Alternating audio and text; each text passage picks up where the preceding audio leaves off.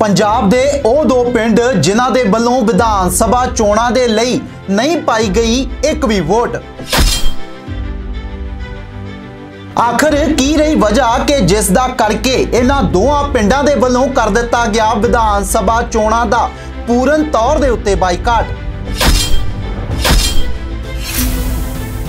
ਇਹਨਾਂ ਦੋਹਾਂ ਪਿੰਡਾਂ ਦੇ ਵੱਲੋਂ ਕੀਤੇ ਬਾਈਕਾਟ ਦੇ ਨਾਲ ਸਿਆਸੀ ਪਾਰਟੀਆਂ ਨੂੰ ਕਿੰਨਾ ਹੋਇਆ ਹੋਵੇਗਾ ਨੁਕਸਾਨ? ਦਾ ਟੀਵੀਐਨ ਰਾਜ ਦੇਖ ਰਹੇ ਹੋ, ਮੈਂ ਆ ਸੁਖਵੀਰ ਸਿੰਘ ਸ਼ੇਰਗਲ। ਪਿਆਰ ਭਰੀ ਸਤਿ ਸ੍ਰੀ ਅਕਾਲ। ਅਜਿਹੀ ਖਬਰ ਇੱਕ ਤੁਹਾਡੇ ਨਾਲ ਸਾਂਝੀ ਕਰਨ ਲੱਗੇ ਆ ਜਿਸ ਨੂੰ ਵੇਖ ਜਾਣ ਕੇ ਤੁਸੀਂ ਹੈਰਾਨ ਪਰੇਸ਼ਾਨ ਹੋ ਜਾਵੋਗੇ। ਬੀਤੇ ਦਿਨ ਵਿਧਾਨ ਸਭਾ ਚੋਣਾਂ ਜਿਹੜੀਆਂ ਨੇ, ਉਹ ਨੇਪਰੇ ਚੜ ਕੇ ਹਟੀਆਂ ਨੇ। ਵੱਖ-ਵੱਖ ਹਲਕਿਆਂ ਦੇ ਵਿੱਚੋਂ ਤੁਹਾਨੂੰ ਤਸਵੀਰਾਂ ਵੀ ਸਾਂਝੀਆਂ ਕੀਤੀਆਂ ਸੀ ਤੁਹਾਡੇ ਨਾਲ। ਸਾਰੀਆਂ ਜਾਣਕਾਰੀਆਂ ਤੁਹਾਡੇ ਨਾਲ ਟੀਵੀਐਨ ਰਾਜ ਨਾਲੋਂ ਨਾਲ ਸਾਂਝੀਆਂ ਕਰਦਾ ਰਿਹਾ ਸੀ।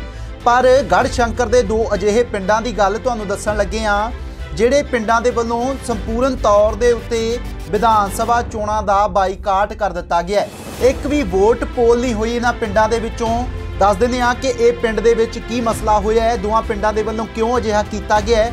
ਸਾਰੀ ਚੀਜ਼ ਦੇ ਉੱਤੇ ਤੁਹਾਡੀ ਝਾਤ ਮਰਵਾ ਦਿੰਦੇ ਆ ਜਾਣਕਾਰੀ ਮੁਤਾਬਕ ਬਸਿਆਲਾ ਅਤੇ ਰਸੂਲਪੁਰ ਦੋ ਪਿੰਡ ਨੇ ਗੜਸ਼ੰਕਰ ਵਿਧਾਨ ਸਭਾ ਹਲਕੇ ਦੇ ਵਿੱਚ ਆਉਂਦੇ ਨੇ।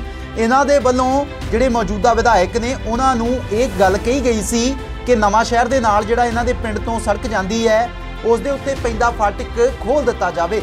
ਪਰ ਅ, ਵਿਧਾਨ ਵਿਧਾਨ ਸਭਾ ਦੇ ਜਿਹੜੇ ਇੱਥੋਂ ਉਮੀਦਵਾਰ ਨੇ ਉਹਨਾਂ ਦੇ ਵੱਲੋਂ ਇਸ ਚੀਜ਼ ਨੂੰ ਤਰਜੀਹ ਨਹੀਂ ਦਿੱਤੀ ਗਈ। ਇਸ ਚੀਜ਼ ਦੇ ਉੱਤੇ ਕੋਈ ਵੀ ਬਣਦੀ ਕਾਰਵਾਈ ਨਹੀਂ ਕੀਤੀ ਗਈ।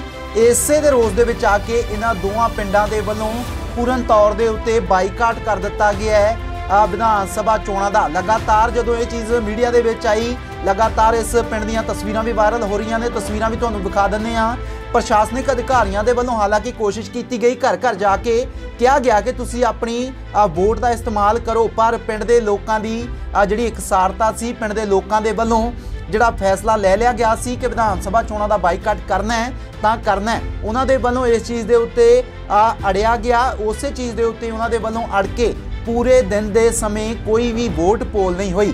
ਆ, ਇਹ ਜਾਣਕਾਰੀ ਤੁਹਾਡੇ ਨਾਲ ਸਾਂਝੀ ਕਰ ਰਿਹਾ ਟੀਵੀ ਰਾਹੀਂ ਤਸਵੀਰਾਂ ਵੀ ਤੁਹਾਡੇ ਨਾਲ ਸਾਂਝੀਆਂ ਕਰ ਲੈਂਦੇ ਆ ਵੇਖ ਸਕਦੇ ਹੋ ਕਿ ਖਾਲੀ ਪਏ ਬੂਥ ਤੇ ਪ੍ਰਸ਼ਾਸਨਿਕ ਅਧਿਕਾਰੀ ਜਿਹੜੇ ਨੇ, ਉਹ ਵੀ ਸਿਰਫ ਉੱਥੇ ਟਾਈਮ ਪਾਸ ਕਰਕੇ ਚਲੇ ਗਏ, ਕਿਉਂਕਿ ਨਾ ਤਾਂ ਕੋਈ ਵੋਟ ਪੋਲ ਕਰਨ ਆਇਆ ਤੇ ਨਾ ਹੀ ਉੱਥੇ ਕੋਈ ਜਿਹੀ ਕਾਰਗੁਜ਼ਾਰੀ ਵੇਖਣ ਨੂੰ ਮਿਲੀ।